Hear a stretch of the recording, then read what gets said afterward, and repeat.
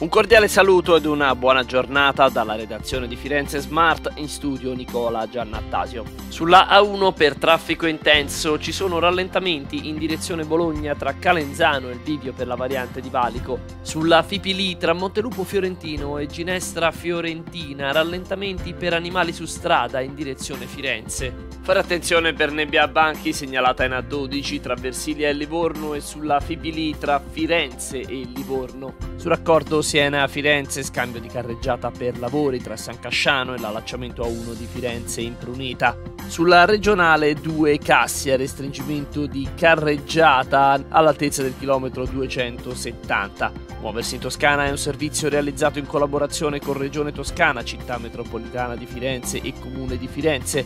Buon viaggio!